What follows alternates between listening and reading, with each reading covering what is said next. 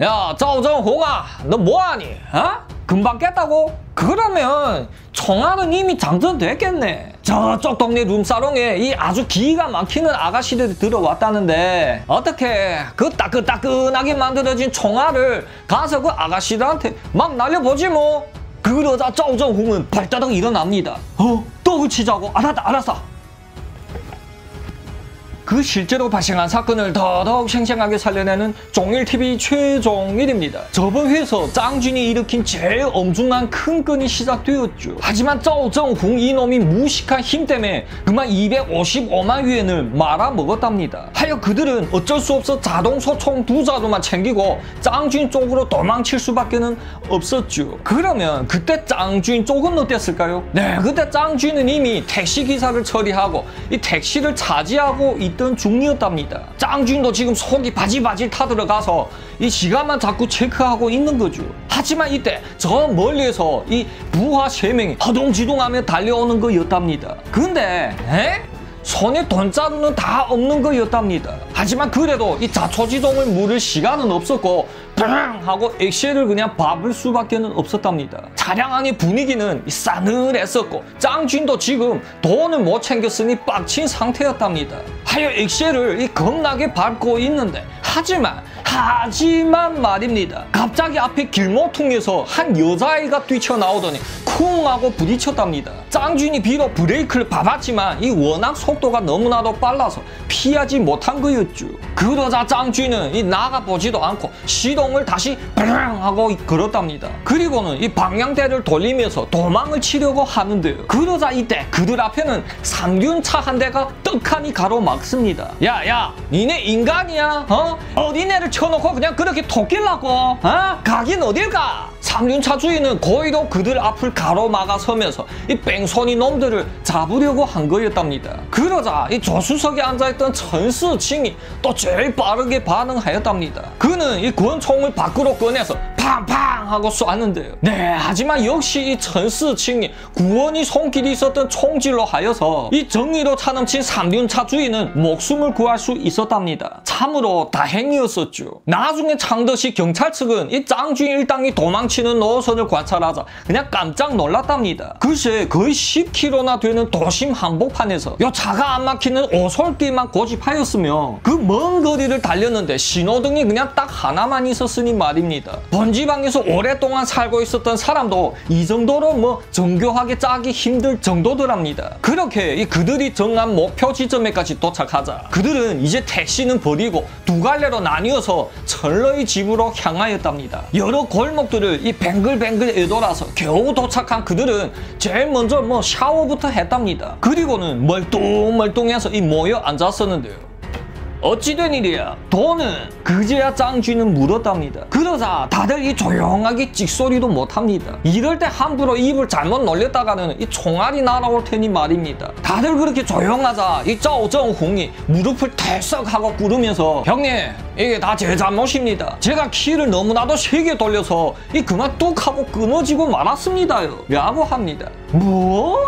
그러자 이 짱쥐는 너무나도 어이가 없어서 이 아무 말도 안 하고 한참 동안 째려봤답니다. 그러자 짜오정홍뿐만 아니라 이 다른 두 부하도 그냥 지금 손에 땀을 쥐고 쫄아 있었답니다. 예전에 내렸던 처벌에 의하면 이 255만 위엔을 날렸으면 거의 뭐 총살이라고 봐야겠죠. 자 형님 비록 돈은 못 챙겨도 저희 이 자동 소총 두 자루는 챙겼습니다요. 이게 있으면 우리 조만간 더큰 건을 할수 있겠지요. 이때 리저준이 이 짱준을 좀 달래보려고 그가 메온 자동 소총 두 자루를 꺼내 보였답니다. 오? 그 삐까번쩍거리는 두 자루의 자동 소총을 보자 그제야 짱준이 얼굴색이 풀렸답니다. 그래 역시 나의 왼팔 리저준이 답다야 잘했다. 어디 한번 갖고 와봐라.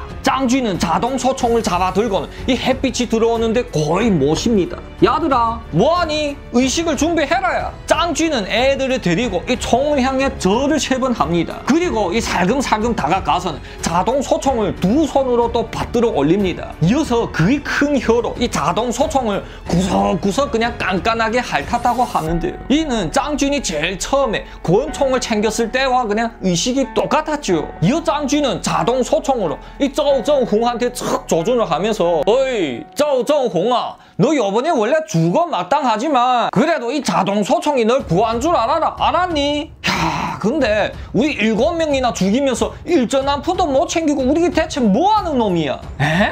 그러자 전수층이 납득이 안 돼 합니다. 에 형님 일전 한 푼도 없다뇨. 여기 있습니다요. 제가 이 잔돈 주머니를 보너스로 챙겨왔지 뭡니까? 네, 그 잔돈 주머니 안에는 400위엔밖에 없었답니다. 야들아, 우리 뭐 거지야? 정신 좀 똑바로 차리자. 이게 뭐야 이게? 요즘 작자들은 어떻게 된 게가 이 매번 매번마다 점점 더 못하야. 어? 네, 사실이 그러했답니다. 이번 현금 운송 차량을 터는 작전에서만 7명을 죽이고 5명한테 큰 부상을 입혔는데 고작 400위엔이라뇨. 야들아, 니네는 각자 고향으로 돌아가서 내 소식을 기다려라. 내 밖에 나가 다른 목표를 더 알아보고 우리 조만간 큰 건을 한 번 더 하자야. 짱쥐는 이제 한시라도 지체할 수가 없었답니다. 네, 왜냐면 쩐이 너무나도 딸렸기 때문이죠. 짱쥐는 요번에 이 광저우 쪽으로 들어가서 아예 은행을 통 째로 그냥 씹어 먹어보려고 떠났답니다. 네, 그러면 지금껏 경찰 측은 어떠했을까요? 저번 회에서 기억나실지 모르겠지만 이 경찰들이 금방 내구의 시신을 발견하고 지금 긴급 회의를 하고 있었잖아요. 근데 이놈들이 또 현금 운송 차량을 털고 또 7개의 시신을 만들어낸 거였답니다. 요 인구 570만 밖에 안 되는 작은 도시 창더시로 놓고 말하면 고작 이틀 동안에 11구의 총 맞은 시신이 나온다는 건 그냥 그야 말로 역사 이래 없었던 큰 사건이었답니다. 뭐? 네 명이 시신에서 나온 탄약과 그 현금 운송 차량을 털었을 때 탄약이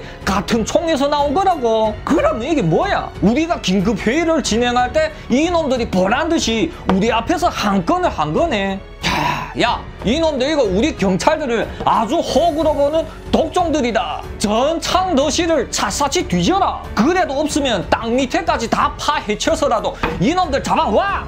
네, 그러면 이 바로 창더시 안에 있었던 짱쥐니 일당을 잡아낼 수 있었을까요? 네, 그렇게 쉽지만은 않았답니다. 철러의 건물은 뭐 영업하는 모텔이나 호텔이 아니고 그냥 세를 주는 형식이었으니 철러만 그냥 입을 꾹 담고 신고 안 하면 그만이었습니다. 이어 광저우에서 이리저리 둘러보던 짱쥐는 맨날 신문으로 그 창더시 상황을 살폈답니다. 하지만 짱쥐는 창더시 상황이 정말로 이번엔 심상치 않음을 느꼈답니다. 하여 짱쥐는 로리한테 전화를 넣어서 철러한테 가서 말을 전해달라고 했답니다. 음? 로리라고요? 이건 또 누구였죠? 혹시 기억나실지 모르겠지만 이 로리는 철러의 친구입니다. 짱쥐는 제일 처음에 철러의 친구였었던 호텔 프런트 직원 쪼우핀을 꼬셔서 따먹었잖아요. 그리고 이 쪼우핀이 집안 식구들한테 인사를 하러 갔을 때 우연히 또 그녀의 친구인 철러를 만나게 된 거였고요. 그러자 이 쪼우핀을 그냥 냅다 버리고 철러와 사귀게 되었었는데요. 하지만 이 철러도 이 머리가 나쁜 게가요. 지가 친구한테서 짱쥐를 빼앗아 왔으면서 또 똑같은 잘못을 저지르게 되었답니다. 그것은 바로 이 카사노바 날강도 짱쥐한테 자기 친구인 로리도 보여주게 된 거였죠.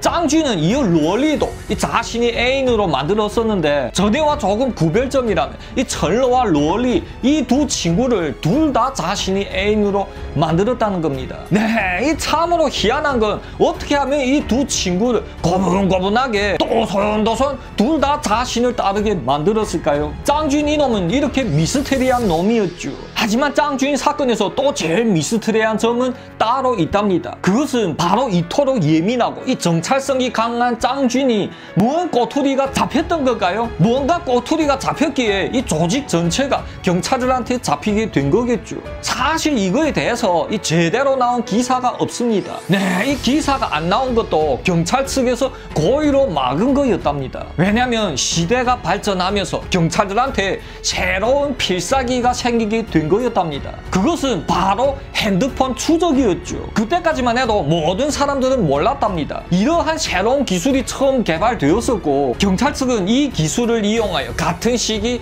악마 경찰 양태용과 천하제일 날강도 짱쥐를 잡은 거였답니다. 하지만 그때까지 경찰들은 이 핸드폰 위치와 이 내용을 추적할 수 있다는 건 무조건 비밀로 하였답니다. 아니면 범죄자 놈들이 이걸 알게 되면 곧바로 신경을 써서 또 주의하게 될 테니 이름이 말입니다. 짱준이 이야기는 원래 레전드한 이야기이니 그들이 경찰에 잡히게 되고 이 재판받는 과정까지 제가 상세히 얘기 드리겠습니다. 사실 제일 먼저 이 경찰들한테 뚫린 건赵正홍이 틀어드렸답니다. 에? 네? 네? 그러면 이건 또 어찌 된 일이었을까요? 혹시 23회에서 이 짱쥔이 후멍랜을 죽이고 쉬쥔한테 전화를 걸었었던 장면이 기억나시나요? 쉬쥔 이놈을 그냥 죽여버리겠다고 이빨을 그냥 뿌드득 뿌드득 갈면서 이 하늘에다 대고 총을 빵빵빵 하고 난사를 했었죠. 사실 이때 다른 한 놈도 몰래 이 전화질을 하였답니다. 네, 그것이 바로 이 쩌우정홍이었었는데요. 쩌우정홍 이놈은 이 대은행장 구멍랭이 와이프가 이쁘장하게 생겼으니까 또 그게 아무리 시체여도 이 아래 위로 슬슬 만져보았다고 합니다. 그러니까 이놈 아랫도리가 또 슬슬 흥분되기 시작했는데요. 근데 어라? 구멍랭 와이프 시신에서 이 핸드폰 하나를 찾아냈답니다. 그러자 쪼정홍 이놈은 또 이미 흩두세진 바람에 이 여자친구한테 전화를 넣었다고 합니다. 이 여자는 또 룸사롱에서 한 몸 파는 아가씨였다고 하는데요. 쪼정홍 이놈은 이 맨날 몸 파는 아가씨랑 이 사귀면서 연애를 하는 걸 좋아했다고 합니다. 곧바로 그 아가씨한테 전화를 넣어서 이 오늘 손님 받지 말고 몸을 잘 씻고 자신을 기다리라고 했답니다. 그러면 이게 뭔 문제 가 있냐고요? 네, 후멍렌 부부의 시신이 이 발견되지 않았다면 모르겠는데 하지만 저번 회에서 이미 발견된 이상은 그냥 못 넘어가겠죠. 후멍렌 와이프의 통화 기록을 이 수사하다가 그 몸 파는 아가씨와 연락하게 된 거였답니다. 하여 그 몸 파는 아가씨를 이 잡아서 신문하자 곧바로 쪼우정홍이 나오는 거랍니다. 여기서 또 쪼우정홍 이놈이 이 생각이 없고 무식한 게 가요. 이 쪼우정홍은 몸 파는 아가씨를 자신이 고향 집에까지 데려가서 놀았다고 합니다. 하여 경찰들은 곧바로 쪼정홍이 집으로까지 찾아가서 포위를 하는 거죠. 하지만 그래도 경찰 측은 무작정 쳐들어가지는 못했답니다. 왜냐면 이놈들이 권총이 있는 건 다 확실한 사실이고 또 저번에 은행 강도질할 때 자동 소총 두 자루까지 없어졌기 때문이죠. 그러면 힘으로 위험하면 계략을 짜야겠죠. 경찰들은 쪼정홍 이놈 이 아가씨라면 그냥 정신을 놓는 점을 이용하려고 하였답니다. 하여 알아보던 도중에 문득 면바로 한 놈을 잡았답니다. 이 놈은 쪼정홍을 찾아와서 이 놀려고 한 절친이라고 하는데요. 이는 하늘이 준 기회였죠. 경찰들은 그 절친을 보고 이러이러해라고 알려줬답니다. 이어 그 절친은 쪼정홍한테 전화합니다. 야 쪼정홍아 너 뭐하니? 어? 금방 깼다고? 그러면 총알은 이미 장전됐겠네. 저쪽 동네 룸사롱에 이 아주 기가 막히는 아가씨들이 들어왔다는데 어떻게 그 따끈따끈하게 만들어진 총알을 가서 그 아가씨들한테 막 날려보지 뭐. 그러자 쪼정홍은 발따닥 일어납니다. 어? 떡을 치자고. 알았다 알았어. 쪼정홍 이놈은 이 옷을 막 찾기 시작하는데요. 하지만 어젯밤에도 룸사롱에서 이 떡을 친 쪼정홍은 그곳에 바지를 버리고 돌아왔는지 앞만 찾아봐도 바지는 없었다고 합니다. 오케이! 까짓거 뭐 어차피 룸사롱에 가서도 벗어버려야 되겠는데 이대로 그냥 가자! 쪼정홍 이 무식한 놈은 바지도 안 입고 삼각 팬티 바람으로 부랴부랴 집안에서 나왔답니다. 그리고 문 앞에 그 절친이 자가용을 알아보고 그냥 아무런 생각도 없이 성큼 올라탔답니다. 네, 하지만 이미 경찰들이 다 매복해 있은 뒤였답니다. 짜오정홍은 그렇게 찍소리도 못하고 잡히게 되었다는데요. 이 영상은 짜오정홍 이놈이 실제로 금방 잡혔을 때의 영상이랍니다. 보시다시피 이 공짜 떡을 치겠다고 바지도 안 입은 몰골이 그대로 나와 있죠. 네, 이놈은 참으로 어이가 없는 놈이었습니다. 짜오정홍이 잡히게 되자 이 경찰들은 신문을 진행하는데요.